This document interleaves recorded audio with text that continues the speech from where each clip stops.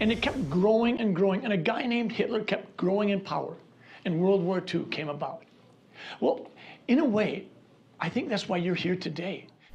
A Republican candidate for Governor Scott Jensen defending those comments that he made in April, where he compared COVID mask mandates to Nazi Germany.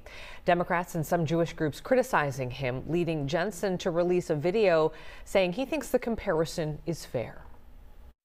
When I make a comparison that says that I saw government policies intruding on American freedoms incrementally, one piece at a time, and compare that to what happened in the 1930s. I think it's a legitimate comparison. Well, today, Fox 9 went to a news conference Jensen attended to ask about the comparison, which can be hurtful toward Jewish people or survivors of the Holocaust at a time when six million Jews were killed. Jensen left that event early, and that left his running mate Matt Birk to respond. It's the age of outrage on Twitter. That's fine. I mean, like I said, Scott and I are out talking to people every single day. We're not hiding from anybody.